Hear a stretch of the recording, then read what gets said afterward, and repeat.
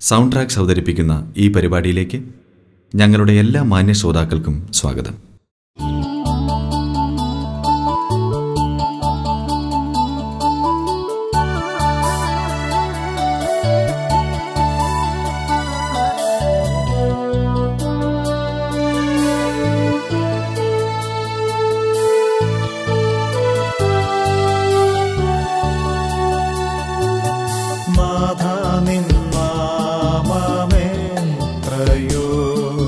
श्रेष्ठं मो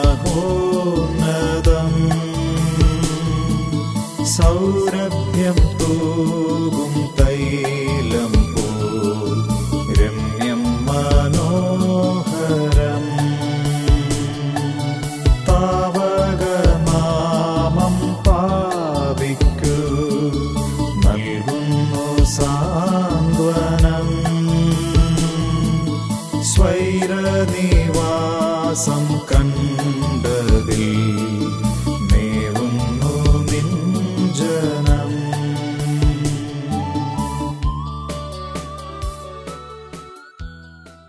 ഇന്ന് നമ്മോട് വചനത്തിൽ നിന്ന് സംസാരിക്കുന്നു സുവിശേഷകൻ അനിൽകുമാർ. ഇന്ന് വിശുദ്ധ ദിവസമാണ്. നമ്മുടെ കർത്താവായ യേശു ക്രിസ്തു ഉയർത്തെഴുന്നേറ്റ ദിവസം. നമുക്ക് ഈ ദൈവത്തെ ആരാധിക്കാം. ആരാധനയോട് ബന്ധപ്പെട്ട് ഒരു വേദഭാഗം സങ്കീർത്തനത്തിൽ നിന്ന് വായിച്ചു കേൾപ്പിക്കുവാൻ ആഗ്രഹിക്കുന്നു. അഞ്ചാം സങ്കീർത്തനം അതിന്റെ ഏഴാമത്തെ വാക്യം. ഞാനോ നിന്റെ കൃപയുടെ ബഹുത്വത്താൽ നിന്റെ ആലയത്തിലേക്ക് ചെന്ന് നിന്റെ വിശുദ്ധ മന്ദിരത്തിന് നേരെ നിങ്ങളുടെ ഭക്തിയോടെ ആരാധിക്കും. ആരാധനയോടുള്ള ബന്ധത്തിൽ ദാവീദിന്റെ ചില വാക്കുകളാണ് ഇവിടെ നമുക്ക് വായിച്ചു കേൾക്കുവാൻ ഇടയായിത്തീർന്നത്. ദാവീദിന്റെ ദൃഢമായിട്ടുള്ള ഒരു തീരുമാനത്തെയാണ് ഈ ഭാഗത്ത് നമുക്ക് വായിക്കുവാൻ കഴിയുന്നത്. ദാവീദ് പറയുന്നു ഞാനോ നിങ്ങളുള്ള ഭക്തിയോടെ ആരാധിക്കും. ആരാധിക്കുവാൻ ദൈവത്തെ മഹത്വപ്പെടുത്തുവാൻ ദാവീദ് എടുക്കുന്നതായ ഒരു തീരുമാനമായിട്ടാണ് ഈ ഏഴാമത്തെ വാക്യത്തിൽ കാണുന്നത്. ഞാൻ നിന്നെ ആരാധിക്കുമെന്ന് ദാവീദ് പറയുകയാണ്. എന്നെ കേൾക്കുന്നതായ എല്ലാ പ്രിയപ്പെട്ടവരും ഓരോരുത്തരും ഈ തീരുമാനം പറയുവാനായിട്ട് ഇടയായി തീരണം. ഞാൻ ഇന്ന് ഈ ദൈവത്തെ ആരാധിക്കും. ദാവീദിനെ സംബന്ധിച്ചിടത്തോളം അദ്ദേഹം ഒരു രാജാവാണ്. താൻ കൊട്ടാരത്തിൽ താമസിക്കുന്ന മഹാനായിരിക്കുന്ന ഒരു വ്യക്തിയാണ്. പടയാളികൾ തന്റെ കൂടെയുണ്ട്. തന്റെ ബന്ധുക്കാരുണ്ട് ഭാര്യമാരുണ്ട്. അനേക കാര്യങ്ങൾ തനിക്കുണ്ട്.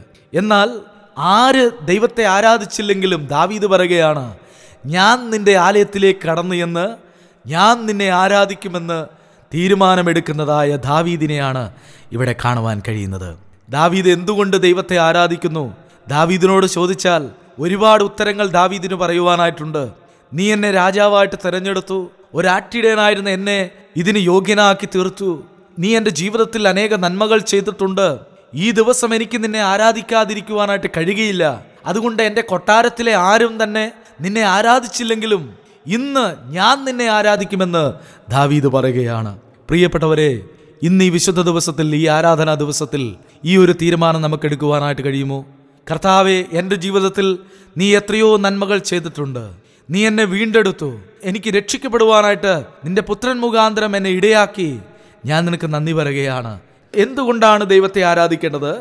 ഏഴാമത്തെ വാക്യത്തിൽ തന്നെ ദാവീദ് പറയുന്നു നിന്റെ കൃപയുടെ ബഹുത്വത്താലാണ് ഞാൻ നിന്നെ ആരാധിക്കുന്നത്.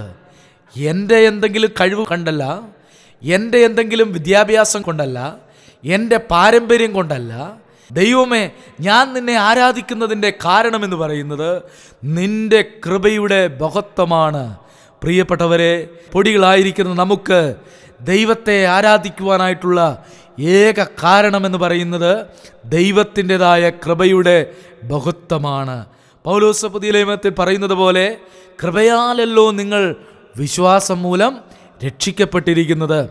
അപ്പോൾ കൃപയുടെ ബഹുത്വത്താലാണ് കൃപയാലാണ് നാം രക്ഷിക്കപ്പെടുവാനായിട്ട് ഇടയായിത്തീർന്നത് എന്റെ ജീവിതത്തിലെ എന്തെങ്കിലും ഒരു കാരണമല്ല ഈ ദൈവത്തെ ആരാധിക്കുവാനായിട്ട് ഇടയായിത്തീർന്നത് അതിന് എന്നെ കാരണമാക്കി തീർത്തത് ദൈവത്തിന്റെ കൃപയാണ്. അതുകൊണ്ട് ദൈവസനത്തിലേക്ക് കടന്നു വരുമ്പോൾ പ്രിയപ്പെട്ടവരെ നമുക്ക് ധ്യാനിക്കുവാനായിട്ടുള്ള ഏറ്റവും വലിയ കാര്യമെന്ന് പറയുന്നത് ദൈവത്തിന്റെതായ കൃപയാണ്. മൂന്നാമതായിട്ട് ഇവിടെ ദാവീദ് പറയുന്നത് എവിടെയാണ് ദൈവത്തെ ആരാധിക്കേണ്ടത്? നിന്റെ ആലയത്തിലേക്ക് ചെന്ന് ഞാൻ നിന്നെ ആരാധിക്കും. ദാവീദിന്റെ കാലത്ത് ദൈവത്തെ ആരാധിക്കുവാനായിട്ട് സമാഗമന കൂടാരത്തിലേക്ക് കടന്നു ചെല്ലണം എന്നുള്ളതായിരുന്നു നിയമമുണ്ടായിരുന്നത്. ദൈവത്തെ ആരാധിക്കുവാനായിട്ട് ആലയത്തിലേക്ക് കടന്നു എന്ന് ഞാൻ നിന്നെ ആരാധിക്കുമെന്നുള്ളത് ഒരു തീരുമാനം ദാവീദ് എടുക്കുകയാണ്. പ്രിയപ്പെട്ടവരെ ഇന്ന് കൈപ്പണിയായ ദേവാലയങ്ങളിൽ ദൈവം വസിക്കുന്നില്ല. ദൈവത്തിന്റെ ആലയം എന്ന് പറയുന്നത് വിശ്വാസികളായിരിക്കുന്ന നമ്മളുടെ ഓരോരുത്തരുടെയും ഹൃദയമാണ്. അതുകൊണ്ട് എവിടെയാണ് ദൈവത്തെ ആരാധിക്കേണ്ടത്? എവിടെ നിന്നുമാണ് സ്തുതിസ്തോത്രങ്ങൾ ഉയരേണ്ടത്? നമ്മുടെ ഹൃദയമാകുന്ന ദൈവത്തിന്റെ ആലയത്തിൽ നിന്നുമാണ്. എവിടെയായിരുന്നാലും പ്രിയപ്പെട്ടവരെ എന്റെ ജീവിതത്തിൽ ദൈവം ചെയ്തതായ ആ ഓരോ നന്മകളെയും ഓർത്തുകൊണ്ട് ഹൃദയത്തിൽ നിന്നും സ്തുതിസ്തോത്രത്തിന്റെ രൂപത്തിൽ പാട്ടിന്റെതായ രൂപത്തിൽ ദൈവവചന പാരായണ ധ്യാനം എന്ന ആ രൂപത്തിൽ ദൈവത്തെ മഹത്വപ്പെടുത്തുവാൻ നമുക്കിടയായി തീരണം. ഇന്ന് നമ്മുടെ ഹൃദയത്തെ നമ്മുടെ ജീവിതത്തെ ദൈവത്തിന്റെ ആലയമാക്കി തീർത്തു എന്നുള്ളത് ഏറ്റവും വലിയ ഒരു സൗഭാഗ്യമാണ് നമ്മുടെ ജീവിതത്തെ സംബന്ധിച്ചിടത്തോളം. അതുകൊണ്ട് ഈ ദൈവത്തെ നമ്മുടെ ആലയമാകുന്നതായ ഹൃദയത്തിൽ നിന്നുകൊണ്ട് നമ്മുടെ കർത്താവിനെ ആരാധിക്കാം. നാലാമതായിട്ട് ദാവീദ് പറയുന്നത് ഞാൻ എങ്ങനെയാണ് നിന്നെ ആരാധിക്കുന്നത്? ഒടുവിലായിട്ട് പറയുന്നത് നിന്റെ വിശുദ്ധ മന്ദിരത്തിന് നേരെ നിങ്ങളുള്ള ഭക്തിയോടെ ആരാധിക്കും. നിങ്ങളുള്ള ഭക്തിയോടെ ദൈവമേ ഞാൻ നിന്നെ ആരാധിക്കും.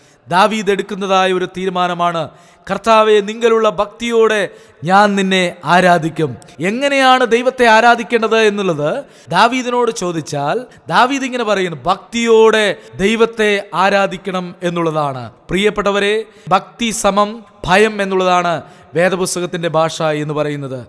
അപ്പോൾ ദൈവത്തിന്റെ സന്നദ്ധിയിലേക്ക് കടന്നു വരുമ്പോൾ ദൈവത്തെ ആരാധിക്കുമ്പോൾ ദൈവമായിട്ട് ബന്ധപ്പെടുമ്പോൾ നമ്മുടെ ജീവിതത്തിൽ ഉണ്ടാകേണ്ടതായ ഏറ്റവും വലിയ കാര്യമെന്ന് പറയുന്നത് ഭക്തിയാണ് ദൈവത്തോടുള്ളതായ ഭയമാണ്. ഈ ഒരു മനോഭാവത്തോടുകൂടെ ദൈവത്തെ ആരാധിക്കുവാനായിട്ട് കർത്താവ് സഹായിക്കട്ടെ. ദൈവമേ നിന്റെ കൃപയുടെ ബഹുത്വത്താൽ എന്റെ ജീവിതത്തിൽ നീ ചെയ്തതായ നന്മകളെ ഓർത്തുകൊണ്ട് ഞാൻ നിന്നെ ആരാധിക്കുകയാണ്. നമുക്ക് ഈ ദൈവത്തെ സ്തുതിക്കാം നമുക്ക് സ്തോത്രം അർപ്പിക്കാം. കർത്താവെ എന്റെ ജീവിതത്തിൽ അവിടുന്ന് ചെയ്തതായ സകല നന്മകൾക്കുമായിട്ട് നന്ദിയോടുകൂടി സ്തോത്രം. പരിശുദ്ധാത്മാവിനെ ദാനമായിട്ട് തന്നതിനായ സ്തോത്രം. കർത്താവെ തന്നിരിക്കുന്ന എല്ലാ അനുഗ്രഹങ്ങൾക്കായി സ്തോത്രം. സ്വർഗത്തിലെ സകല ആത്മീക അനുഗ്രഹങ്ങളാലും ഞങ്ങളെ അനുഗ്രഹിച്ചതിനായിട്ട് നന്ദി പറയുന്ന പിതാവേ. എന്റെ വ്യക്തിപരമായിട്ടും ജീവിതത്തിൽ അവിടുന്ന് ചെയ്തതായ സകല നന്മകളെ ഓർത്തുകൊണ്ട് ഞാൻ നിന്നെ ആരാധിക്കുകയാണ്. സകല സ്തുതിയും സ്തോത്രം ബഹുമാനവും അങ്ങേക്ക് തരികയാണ്. യേശു ക്രിസ്തുവിന്റെ നാമത്തിൽ തന്നെ. ആമീൻ. നിന്നാത്മസാന്നിധ്യം തുലോ. ആശ്വാസഹേതുകം. संसर्गं विश्रमम् पावगवार्जितं दुःखीदरि प्रत्याशनि पापी गर्काश्रयं सा